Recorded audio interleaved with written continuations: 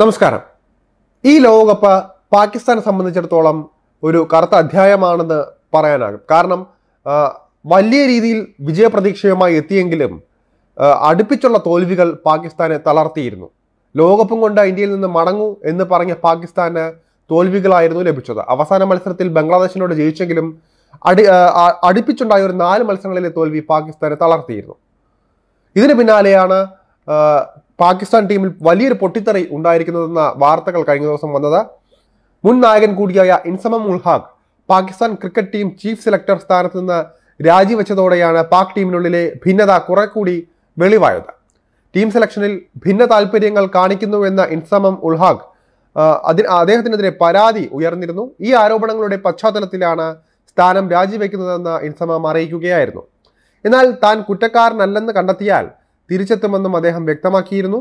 മാധ്യമങ്ങളിൽ ഉയർന്നു വരുന്ന ഭിന്ന താല്പര്യ ആരോപണങ്ങളെക്കുറിച്ച് സുതാര്യമായ അന്വേഷണം നടത്താൻ പി സി ബിക്ക് അവസരം നൽകാനാണ് താൻ തൽസ്ഥാനത്ത് നിന്ന് ഇറങ്ങുന്നതെന്നും കുറ്റക്കാരനിൽ നിന്ന് കമ്മിറ്റി കണ്ടെത്തിയാൽ ചീഫ് സെലക്ടറായി തന്നെ തന്റെ റോൾ പുനരാരംഭിക്കുമെന്നും ഇൻസാമാം ഉൾഹാഖ് പ്രസ്താവനയിൽ പറഞ്ഞിരുന്നു.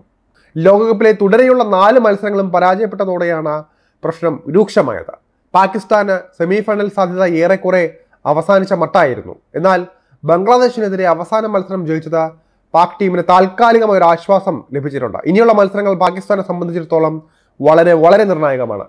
മികച്ച റൺ റേറ്റോടെ അല്ലെങ്കിൽ മികച്ച മാർജിനോടെ ജയിച്ചാൽ മാത്രമേ പാകിസ്ഥാന് സെമി സാധ്യതകൾ നിലനിർത്താനാകൂ.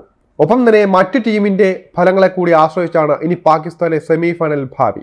ഈ സാഹചര്യത്തിലാണ് ഇൻസമം ഉൾഹക്ക ചീഫ് സെലക്ടർ സ്ഥാനം ഉപേക്ഷിക്കുന്നത്. ഈ വർഷം ഓഗസ്റ്റ് ഏഴിനാണ് ദേശീയ പുരുഷ ടീം സെലക്ഷൻ കമ്മിറ്റി ചെയർമാനെ ഇൻസമിനെ നിയോഗിച്ചത്.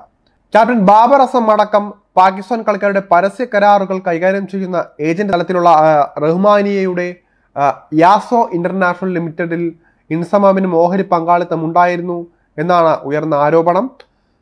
ബാബർ അസമിനെ കൂടാതെ ഷഹീൻ അഫ്രീഡി മുഹമ്മദ് റിസ്വാൻ എന്നിവരുടെ പരസ്യ കരാറുകൾ കൈകാര്യം ചെയ്യുന്നത് ഈ കമ്പനിയാണ്. മുഹമ്മദ് റിസ്വാനും ഈ സ്ഥാപനത്തിൽ ഓഹരി പങ്കാളിത്തമുണ്ടെന്ന റിപ്പോർട്ടുകളുണ്ട്. ലോകകപ്പിന് മുൻപ് കളിക്കാരുടെ വാർഷിക കരാർ പ്രഖ്യാപിക്കണമെന്നും ഐ സി സിയിൽ നിന്ന് പാകിസ്ഥാൻ ക്രിക്കറ്റ് ബോർഡിന് ലഭിക്കുന്ന വിഹിതത്തിൽ നിന്ന് ഒരു ഭാഗം കളിക്കാർക്കും നൽകണമെന്നും താരങ്ങൾ ആവശ്യപ്പെട്ടിരുന്നു. അല്ലാത്ത പക്ഷം ലോകകപ്പിന് മുന്നോടിയായുള്ള പരസ്യങ്ങളിൽ അഭിനയിക്കില്ല എന്നുമായിരുന്നു ഈ താരങ്ങളുടെ നിലപാട്. എന്നാൽ ഇൻസമം ഉൾഹക്ക് ഇടപെട്ട ഈ പ്രശ്നം പരിഹരിച്ചിരുന്നു.